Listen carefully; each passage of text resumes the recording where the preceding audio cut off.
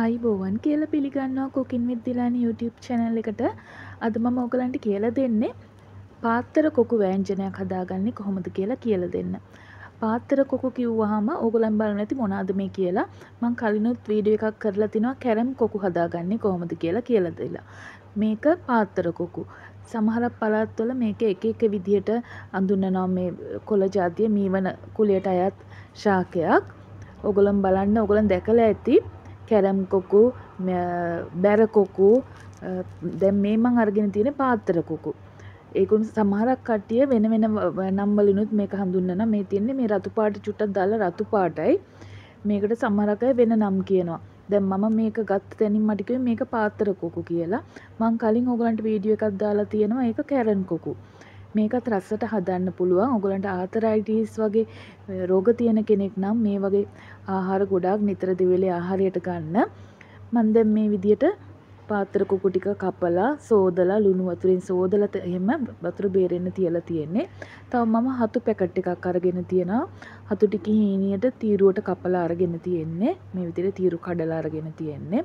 මං කලිනුත් ඔයගලන්ට කැරම් කොකු හදාගද්දිදි කිව්වා මොනහරි අපි මේ වගේ ආහාරයක් කෑමට ගදිත් ගද්දි මොනහරි අපි කන්න ආස දෙයක් මේකට කලවම් කරන්න ඕනේ. එක්ක උඹල කඩ එක්ක කරවල වගේ දේවල් එකතු කරලා මේක හදාගන්න ඕනේ කියලා. දැන් එහෙනම් අපි යමු මේක හදන්නේ කොහොමද කියලා බලන්න. මුලින්ම වාජනේ ලිපේ තියා ගන්නවා මැටි වාජනයක්. වාජනේ රත් වෙද්දි පොල් තෙල් මේ සෑන්ති මම මෙතන දෙකහමාරක් විතර ගත්තා. තෙල් ටික රත් වෙගෙන එද්දී අබැට සුවල්පයක් තව මේකට අපි සූදුරු ස්වල්පයක් මං එකතු කර ගන්නවා.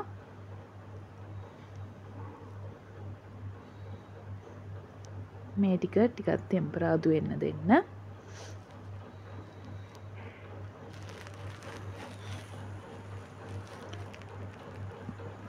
මමත් මේකට දාන තුන පහ වර්ග ටික මේ හදන ගමන් කියන්නේ ඒක නිසා ඔයගොල්ලෝ බලාගෙන ඉන්න. හීනියට ලියාගත්ත බීලුණු ගෙඩි දෙකක් මෙතන තියෙනවා. ඒ ටිකත් මේ විදියට හොඳට තෙම්පරාදු වෙන්න දෙන්න. තව මම මේකටම තලාගත්ත සුදු ලූණු. අපි හතු දානවා. ඒක නිසා ඒක රස වැඩි කරගන්න මේ විදියට මම තලාගත්ත සුදු ලූණු ටිකක් එකතු කරගන්නවා. මේ ව්‍යංජනය හරි රසයි. ඕගලන්ට කිසිම අපුල ගතියක් නැතුව දරුවෙක්ට උනත් කන්න දෙන්න පුළුවන්. හරිම දැන් සුවඳයි තෙම්පරාදුව මේකට මම හීනියට ලියා ගත්ත මිරිස් ටිකක්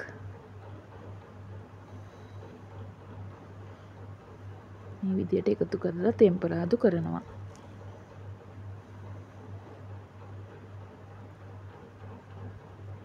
තෙම්පරාදුව හරිම සුවඳයි. ගොඩාක් වෙලා මේක කර වෙනකම්ම තෙම්පරාදු වෙන්න දෙන්න ඕනේ නැහැ. දැන් මේ ලාවට පාට වෙනස් වේගෙන එන්නේ.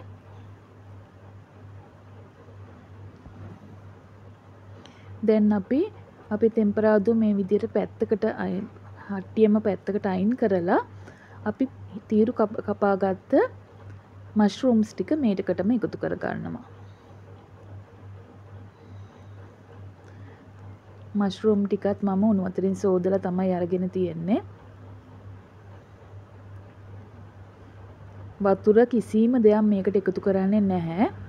දැන් ඕගොල්ලෝ බලන්න අපි මෂ්රූම් ටික මේකට එකතු කරාට පස්සේ මේක දැන් පොඩ්ඩ වෙනවා. දැන් මේක ගොඩක් වගේ පෙවුනට පොඩ්ඩ වෙනවා මේ බලන්න. ඒ වගේම මෂ්රූම් වල තියෙන වතුර ගතිය මේ වෑංජනයට උරා ගන්නවා.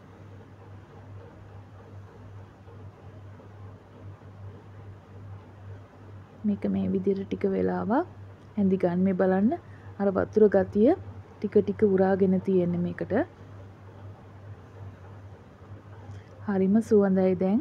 මේ බලන්න වතුර පේනවා නේද උගලන්ට? වෑංජනේ. මීට අමතරව අපි වතුර එකතු කරොත් මේකේ වතුර වැඩි වෙනවා. මම කරපිංචකේ නිත්තකුත් දා ගන්නවා. ඔගොල්ලොන් ඇඹුලට මේකට තක්කාලි දානවා නම් අර තෙම්පරාදුවටම තක්කාලි එකතු කරගන්න.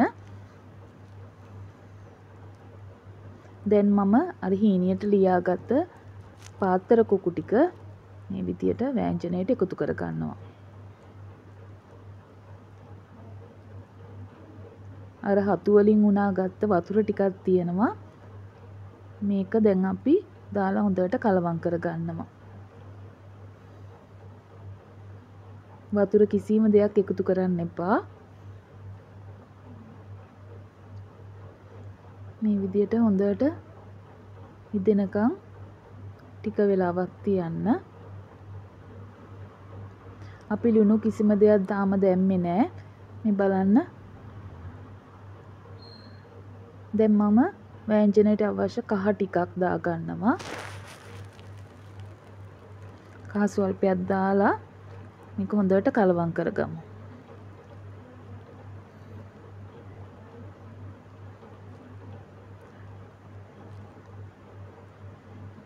දැන් අර වතුර ගතිය හිඳිලා ගිහිලා නිසා ටිකක් අඩිය අල්ලන්න බලයි.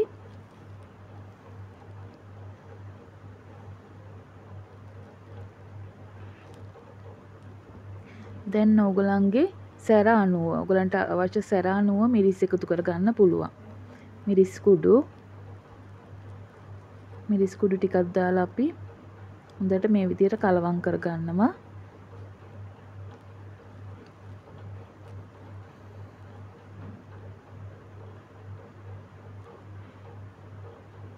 ඕගලන්ගේ සැර අනුව මේ හැම දෙයක්ම එකතු කරගන්න පුළුවන්. තාම අපි ලුණු එකතු කරගත්තේ නෑ අපි බැරකොකු බැරකොක්කු පාත්‍රකොකු ඕන දෙයක් අපිට කියන්න පුළුවන් මේකට පාත්‍රකොකු හෝදද්දිත් මම ලුණු දැම්මා. දැන් මේකට මම වේලගත්ත බිලින්. ඕගලන්ට තක්කාලි ඕනනම් පාවිච්චි කරන්න පුළුවන් තෙම්පරාදුර දාන්න පුළුවන් මම ඇඹුලට දාන්නේ වේලගත්ත බිලින්. අද අපේ ගෙදර තක්කාලි නැති නිසා මම බිලින් ටික එකතු කරගන්නවා.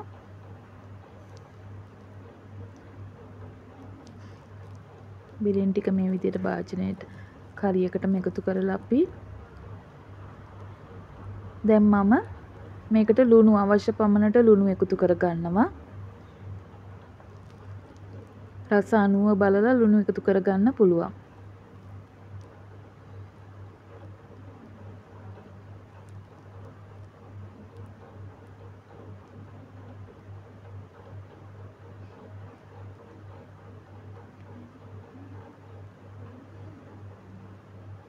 ඕගලන්ට දැන් අපි මේකට හතු එහෙම එකතු කරගත්ත නිසා මස්කලි ටිකක් මස්කලි පවුඩර් ටිකක් දාගන්න ඕනේ.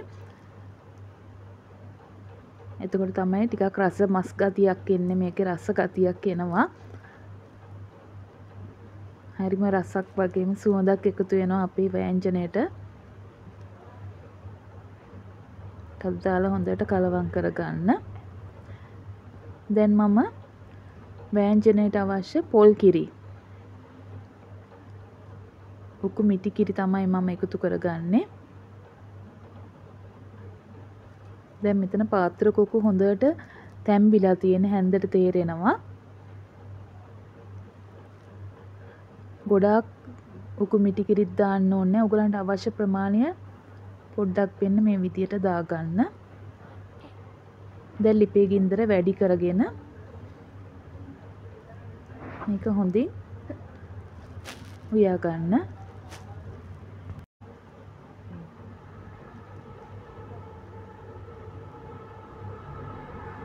මේ විදිහට ටික වෙලාවක් කිරි ටික තැම්බෙනකන් තියලා ලිප ඕෆ් කරගන්න ඕගලන්ට පුළුවන්. දැන් මේ බලන්න කිරි ටික නටනවා. අපි දැන් ලිප ඕෆ් කරගමු. කිරි ගොඩාක් දැම්මොත් මේක ගොඩාක් හොද්ද වගේ වෙනවා. මේ බලන්න දැන් හරිම සුවඳයි ඒ වගේම රසයි. ඔයගොල්ලෝ අනිවාර්යයෙන්ම හදලා බලන්න ඕනේ. මේ වගේ අලුත් වීඩියෝ එකක් අරගෙන එනකම් මම ගිහින් එන්න. පරිස්සමින් ඉන්න